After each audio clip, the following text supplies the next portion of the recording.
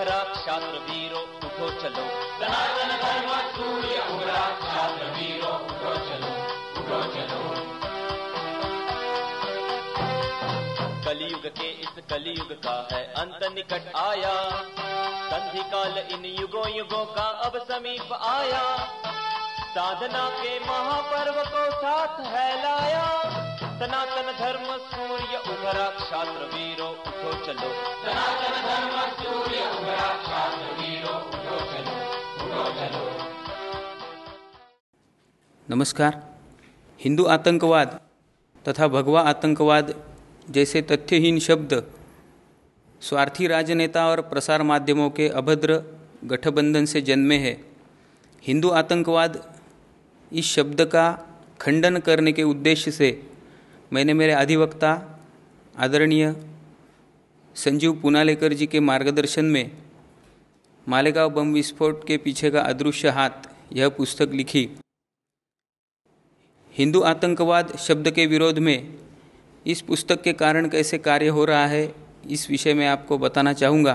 तत्पूर्व मैं मेरी पृष्ठभूमि संक्षेप में बताता हूँ। आम्ही पाचपुते नामक एक मराठी नाटक था जिसमें महाभारत का अनादर किया गया था। हिंदू जनजागृति समिति इस धर्मद्रोही नाटक का विरोध आरंभ से कर रही थी। वर्ष 2008 के जून माह में महाराष्ट्र के ठाणे शहर में गडकरी रंगायतन नामक एक नाट्यगृह है। उस नाट्यगृह में इस आमी पाचपुते नामक धर्मद्रोही नाटक का एक प्रयोग होने वाला था। यह प्रयोग आरंभ होने के पूर्व नाट्यगृह के वाहन तल में एक विस्फोट हुआ। अब हिंदू जनजागृति समिति आरंभ से ही इस नाटक को विरोध कर रही थी। इसलिए पूर्वाग्रह से ग्रस्त होकर महाराष्ट्र के आतंकवाद विरोधी दल ने सनातन संस्था के साधक और हिंदू जनजागृति समिति के कार्यकर्ताओं की जाँच आरंभ की।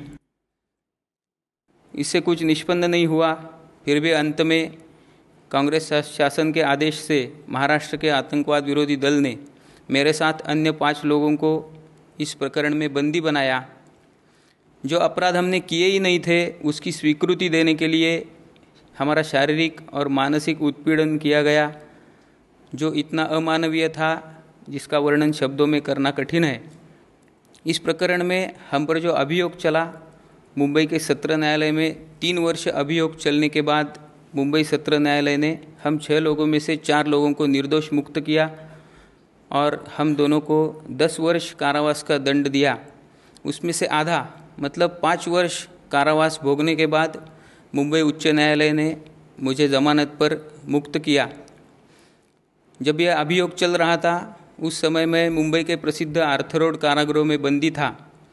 उस समय मालेगांव विस्फोट में बंदी बनाए गए हिंदू और मुसलमान, ऐसे दोनों आरोपियों से मेरा परिचय हुआ। उनसे अनेक चर्चाएँ हुई। उनकी कौटुंबिक पृष्ठभूमि कैसी है? उनका अभियोग की सत्यता क्या है? पुलिस ने उनके साथ कैसा व्यवहार किया? इन सब विषयों पे चर्चा हुई।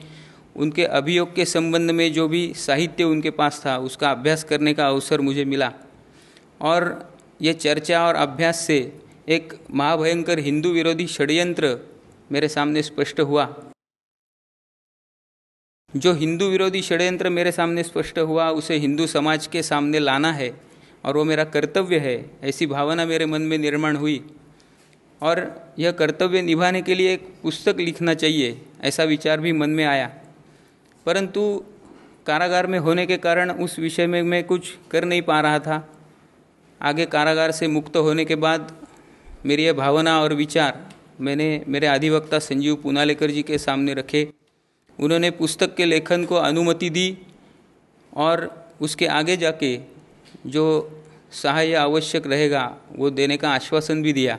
उस अनुसार उन्होंने दोनों अभियोगों के आरोप पत्र, पुरवणी आरोप पत्र, सूचना के अधिकार में मिली जानकारी, समय समय पर वृत्तपत्र में प्रकाशित हुए लेख और वृत्त तथा दोनों अभियोगों के आरोपियों ने समय समय पर जो उच्च न्यायालय में याचिकाएँ की थी और उस पर न्यायालय ने दिए निर्णय, यह सब साहित्य मुझे अभ्यास के लिए दिया।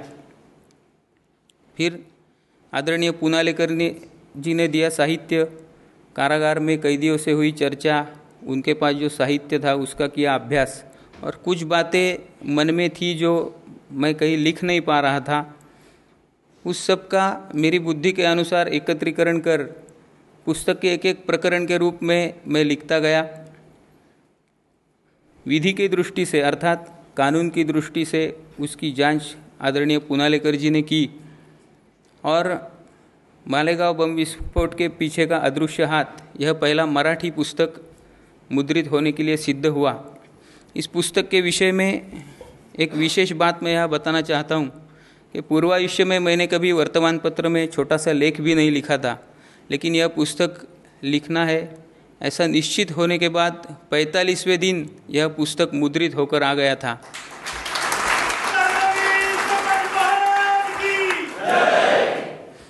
ईश्वर की कृपा और आशीर्वाद से ही यह संभव हुआ ऐसी मेरी दृढ़ श्रद्धा है। और इस पुस्तक के लेखन के लिए ईश्वर ने मुझे चुना इसलिए मैं ईश्वर के चरणों में अनंत कोटि कृतज्ञ हूँ। जयतु जयतु हिंदू राष्ट्रम। जयतु जयतु हिंदू राष्ट्रम।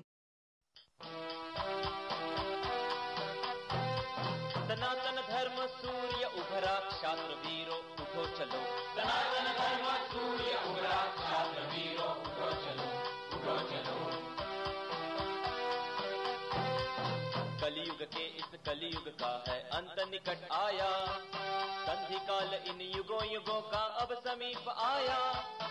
साधना के महापर्व को साथ है लाया सनातन धर्म सूर्य उभरा, क्षात्र वीरो उठो चलो। सनातन धर्म सूर्य